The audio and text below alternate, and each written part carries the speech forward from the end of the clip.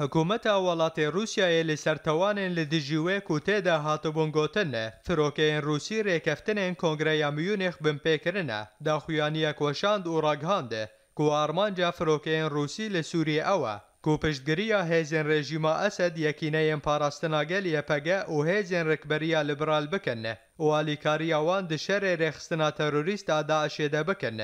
د hevdîtineke rojnemevînê de berdevka Wezareta Derve ya Rûsî Mariya Zexarova تەوانێ لە دژی رووسایە و فرۆکەیە نوێژی بلی بارگەهێنداشێ خاڵێن دژبەریە تۆباران دەکەنە شاش دەرخست و گوت کو مۆسکۆ ترێکەفتنێن کۆنگرەیە میونێخ بن پێ نەکردە و هێزێنوان بارگەهێن دژبەریان نیشتیمانی تۆباران نەکردە ji aliyekî din ve berdevka Wezereta Derve ya Rûsî derbarê daxwazên ku ji Rûsya hatine kirine ku bila hêzên wê nêzîkî gund û bajarên li nêzî sînorê Tirkiye li navçeya Ezazê ne bin ragihande. گۆلووا ناوچەیان ئالیکاریژی ڕێخستنەداشێ و هەن ڕێخستنێندنیان تەرۆریستراژی عالیە ترکێ بە تێنەشاندنە